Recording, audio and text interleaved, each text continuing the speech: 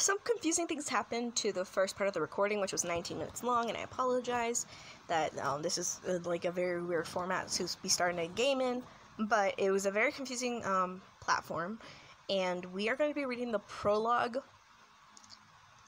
for Alfred because originally it started me at season two, aka like the Hunter version, and I'm just I was just like, that is very very confusing. Don't know why they would want to do that, but um, we're gonna read the prologue for Alfred, and yeah, let's do that. So we're doing that right now. Prologue version Witch. This is a story from long ago. It took place in a mysterious castle intersecting two worlds. One world called Lorraine, where humans li- without power lived in. People gathered under the king's rule and lived in accordance with the law. The other world was called Reichdor, where magical beings possessing dark power lived in, not having a king to rule them. They lived faithfully to their desires. However, a clan with extremely strong power appeared among the free residents of the darkness vampires. They began to manage and control the path to travel between the two worlds. Lit.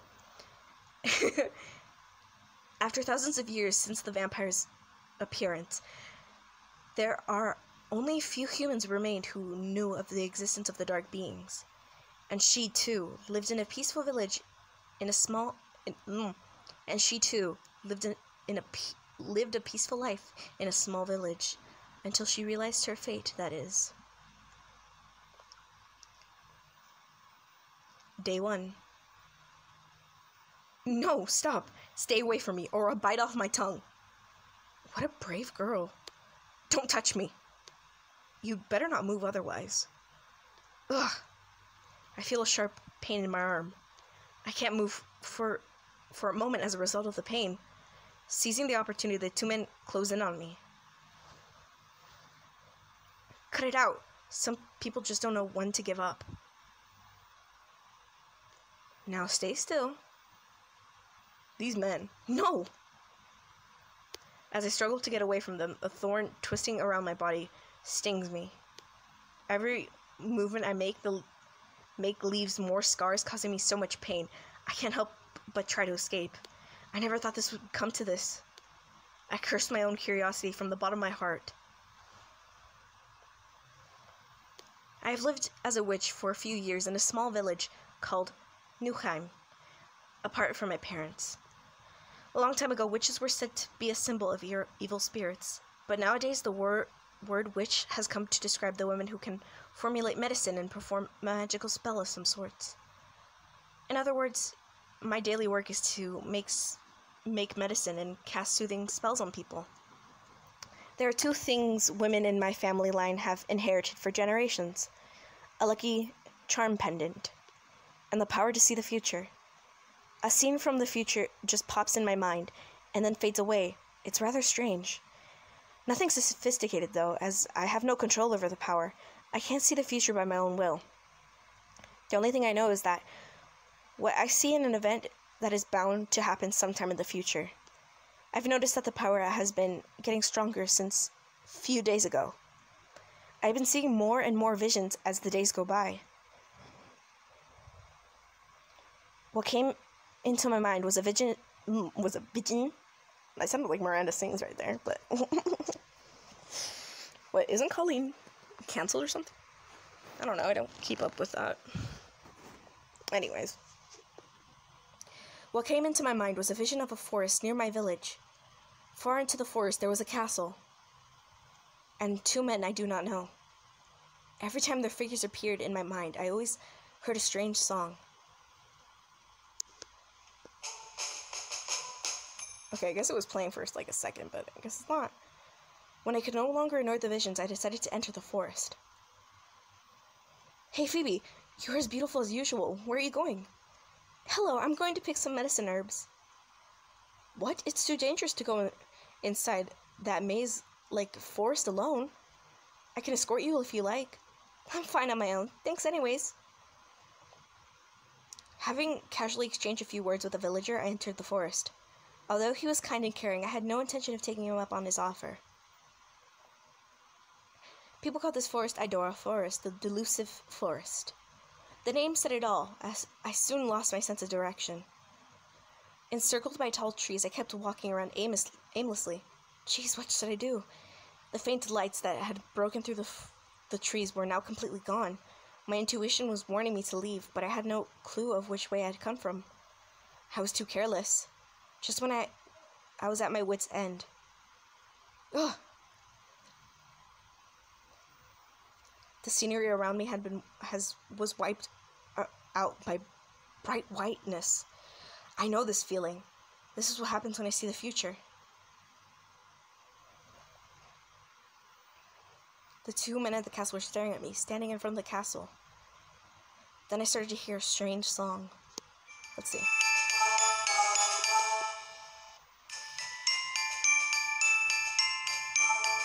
This song, it's the same strange song.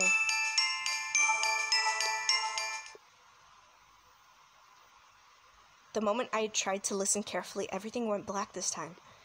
After I see the future, I always get dizzy or a headache.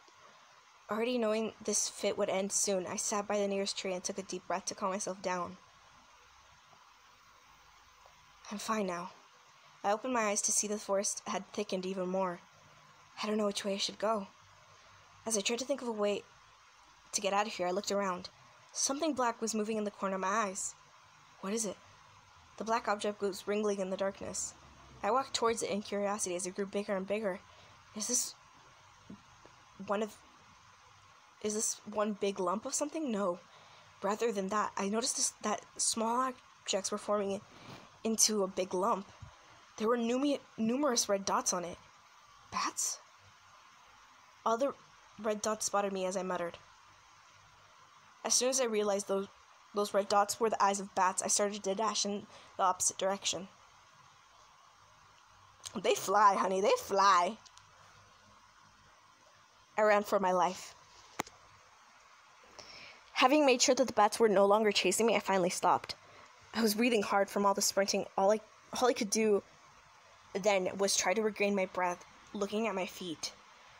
When I was finally, able to lift my eyes from my feet, my breath was taken away by the scenery spread out in front of me. There was an old castle, seemed like it would rot away at any moment. I felt a sense of deja vu. I remembered seeing it many times. Just with a black and white filter over it. Does that song come from here? Are they in the castle?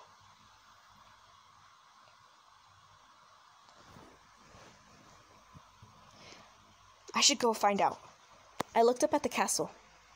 I held my pendant, a family treasure handed down to me, tightly in my hand to get courage. Then I slowly laid my hand on the gate. It breaks. This is going to be a lot of fun. Hello? Excuse me? The door opened like. Ugh, the door opened to show a gorgeous interior, unlike its outward appearance. Is anyone here? I called out, but nobody responded. Silence covered the entire castle, and there was no sign of inhabitants. Nobody lives here? But still, it seemed to be in good repair. The hallways and even the handrails on, of the stairs were nicely, nicely polished. I might find someone in the other rooms. Having a ray of hope, I decided to go look around the castle. A human girl. I hope she won't cause any trouble. What's this tasty smell? Ooh, I'm ready for it. Yeah, yeah, don't sweat over me. I'll behave. I spent the next while searching the castle, but I didn't see a single person. Am I alone in this large castle? Castle? Am I alone in this large castle? It's kind of scary thinking about it. My slight hope to meet someone who lived here was starting to fade away. I should probably get out of here. However, as I just just as I turned around, candlelights illuminating the hallway suddenly went out. My mind froze in complete darkness. It's dark and I'm scared. Dreadful fear dominated me. Hey. Can you hear me? Someone came behind me and patted me on my shoulder. Though I was looking for someone living in the castle, this encounter only gave me fear. Hey, don't be so nervous. You look so tasty, but I won't eat you right away. Eat me? A sharp, cold feeling on my neck ter- terrorized me. A knife? Because of the way he was, the word knife promptly came to my mind. Uh, he covered my mouth with his hand to muffle my outgoing scream. Don't make a fuss, it only caused big trouble for me. I can't breathe. My consciousness started to fade away. Just before I passed out, I heard something drop to the hard floor, the footsteps and footsteps coming towards me. Lit. Why am I tied up? When I opened my eyes, my body was wrapped around in, the, in a thorn, so I couldn't move freely. Where am I? Yeah, where are we, sis? I looked around the room, which was relatively small. This is just like a jail. A cold blade was put to my neck. I remember that man shut my mouth with his hands, which made breathing impossible. And what happened after that?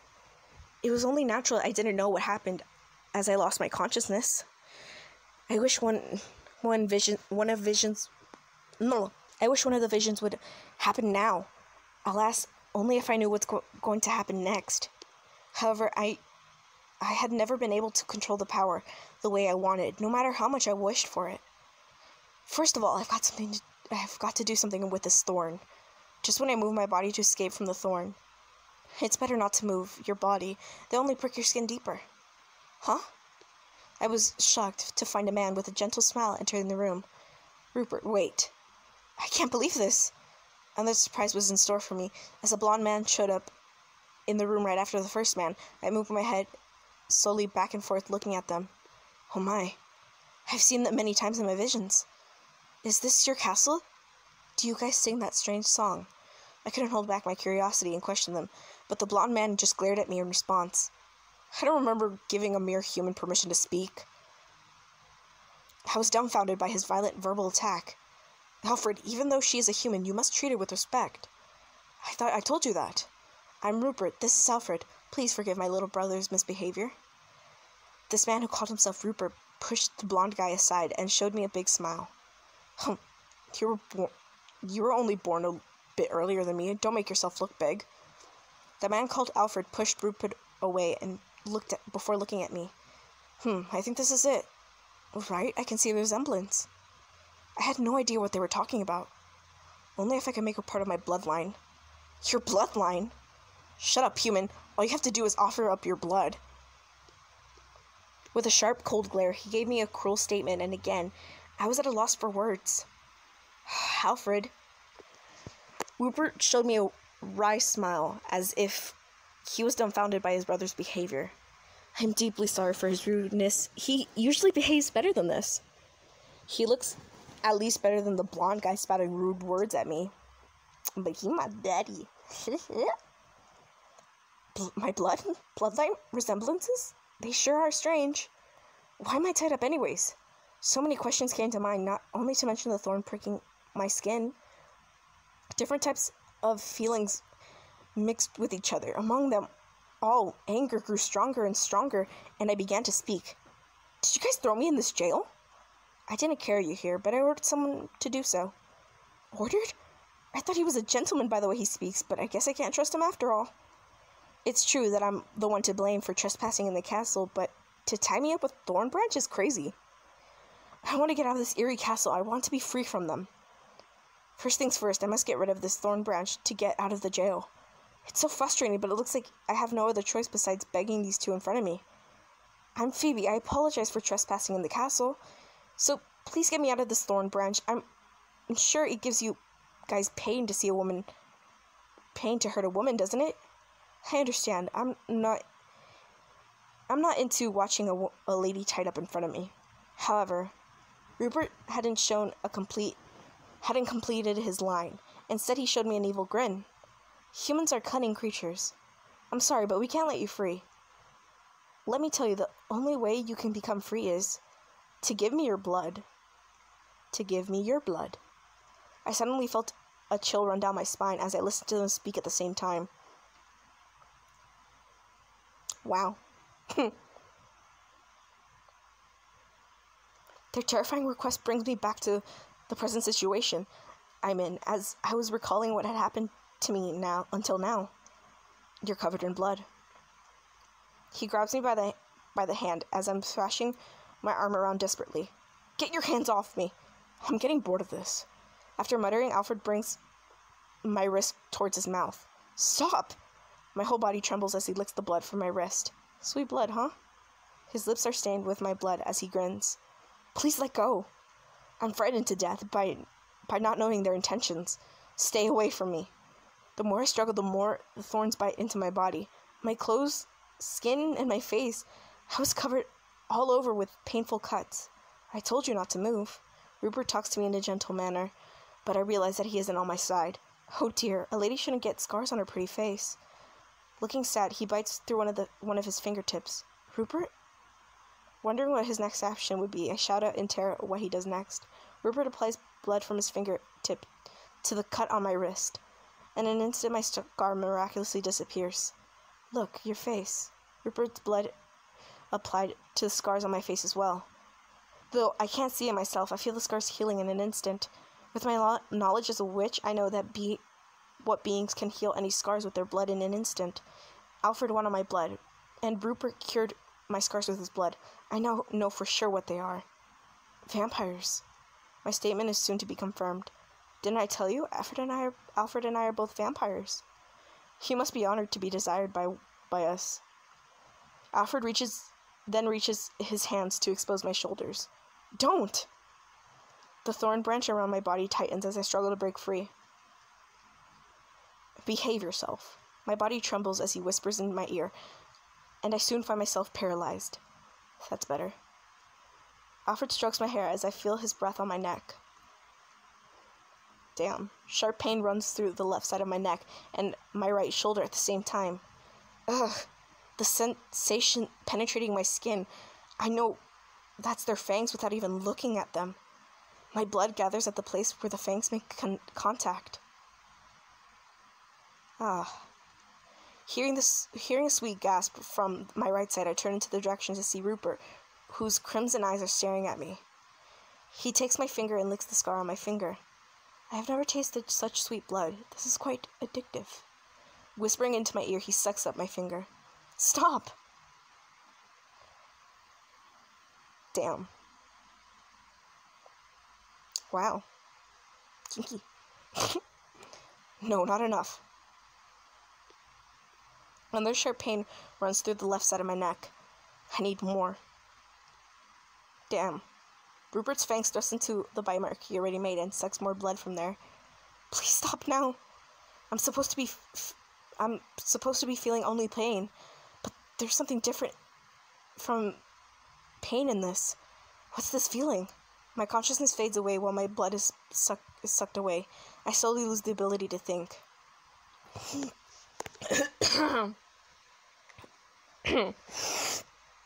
Eventually, everything goes black before my eyes. Damn, we passed out. We said, night night. Wake, wake up. Hmm? I feel something rough rubbing against my cheek. I slowly open my eyes.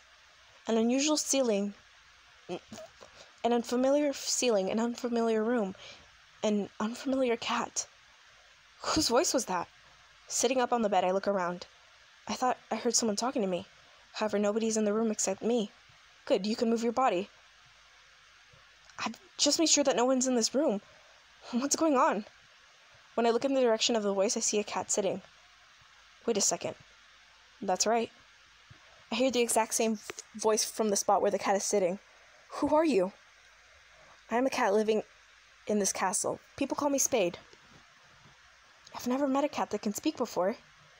I wouldn't have believed that a cat could speak if I was in a vampire's castle. I've gone through so much that I'm no longer surprised by the cat speaking. We can talk about my my language a bit later. The problem here is you. Me? Do you remember that you had your your blood sucked by the vampire brothers? Sorry, I'm moving around a lot. It's just uncomfy right now. I'm just like, eh.